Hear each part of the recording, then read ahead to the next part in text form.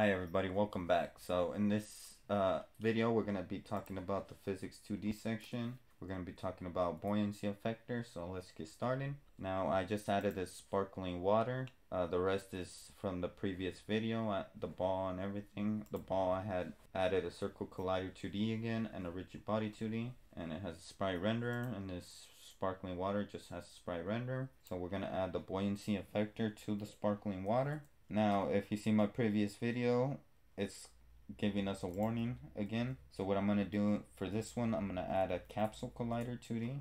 And I'm going to check the use by effector and is trigger. So we don't have those warnings anymore. And this capsule collider, I'm going to talk about it after I talk about the buoyancy. So what I'm going to do, I'm just going to shape this capsule collider to my um, actual sparkling water. So yeah, I'm just going to shape this real quick. And I'm going to put this down to the water level. It really doesn't have to be because when I add this buoyancy effector, I could, you know, just I'm just gonna fit it to the actual sparkling water just to show you.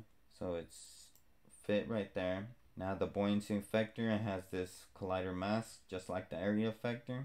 So we could either have it just global collisions, so any collider, or we could choose what colliders. Okay, so we could choose what colliders can collide with this depending on what layer mask they have. Now there's density. So right here it says it just depends. The density is if you want objects to float or sink. So if it has a lower density, then I think the objects will, yeah, lower density, they will float. A higher density, they will sink. But you could also mess with the, the actual rigid body, the mass, and that will also make an object sink or float. I'll show you that in a minute. Now surface level. Now if you could see there's this little white line right here. That's the surface level. So if I change it, you can see the line updating. Let me move the line over here. So this is the line I'm referring to. So I'm going to put the surface level a little below the water. The dampening, this is just the drag of the object. So if you want it to have like a, a weight effect, so it looks like it, it has some weight on it. And then there's flow, flow angle. Same thing with the area effector. Depending on the the flow, the number of the flow angle. 45 is to the right. Uh, 90 will shoot the ball straight up again. Or in this case, it will just keep going up like this, looking like it's bobbing. Uh, right or 270 will go to the left, and 180 will shoot the ball towards the bottom of the glass there's magnitude so how fast you want the flow of the water to be and the variation of the flow. So now if I hit play and I did everything correctly the ball should fall down and just kind of float in the water. As you can see it kind of floats in the water. Now as you're gonna see it's gonna fall out because even though we have a collider the collider is set to uh, is trigger so it's not actual colliding with anything.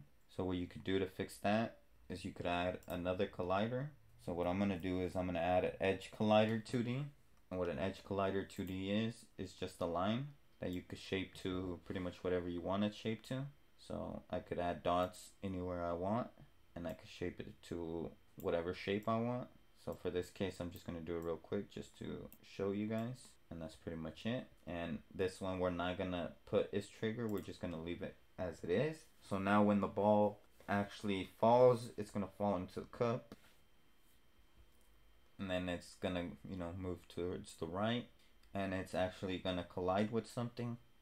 So as you can see it collides with something. Of course I would have to make it a little more because you could see it's still popping out a little bit. So I would have to scoot the collider in more but that's how that pretty much works. Now, if you wanted to give it that watery effect, all you uh, what you could do is you could add uh, an image, and that image you could uh, let me move the canvas, set it to camera, move my main camera, so I could get this image and set the canvas to the order layer to 10. We'll get the image and we'll just kind of fit it into the water the best we can.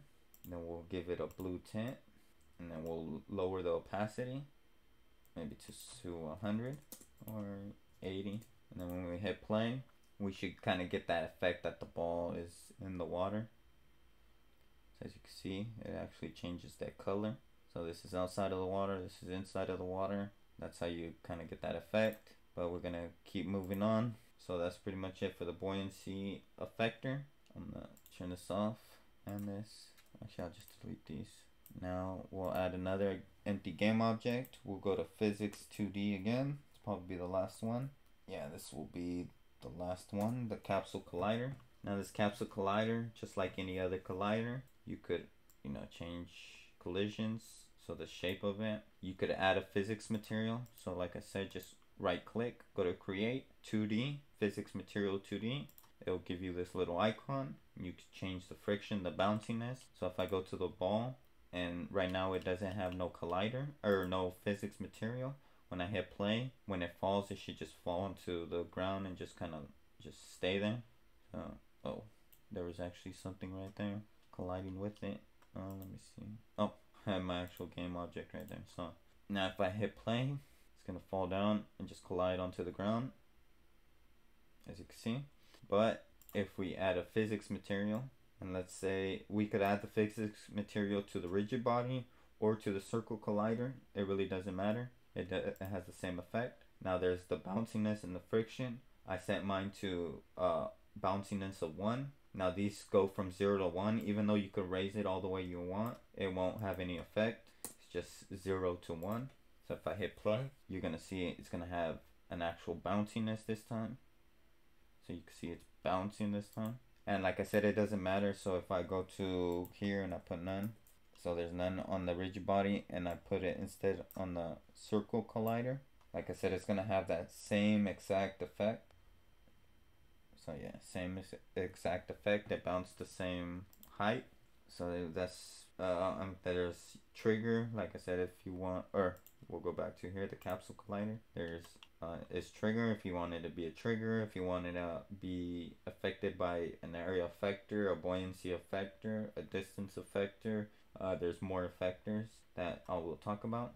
Now we could set the offset. So the game object is this gray circle. So it's offset by 0.6 of this circle.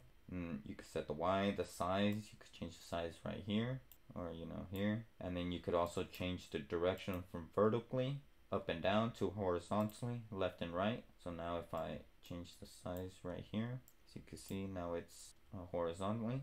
And then like I said this is just information. I mentioned this in a previous video. It's just debugging tools. You can see if it has a rigid body. You can see if it has a rigid body material on it stuff like that. But yeah that's pretty much it for this video. Um, I want to keep it short. In the next videos I'm gonna be talking about these other colliders. Like I said they're pretty much all the same but I want to mention them that way. Nobody feels like uh, I skipped one or anything like that. Uh, so I'm gonna mention the circle collider composite collider and probably have time for the constant force and the distance joint hopefully. And uh, but yeah thank you for everything. If you guys are liking this video hit that like button. If you guys want to see more uh, videos like this that subscribe uh, button if you guys want free assets free scripts free codes free sprites head on to my website robust-games.com i'll leave a link in the description below. Check it out. I have my uh, two games that are out on Google Play and one of them's on itch.io so you could check that out on my website. So thank you once again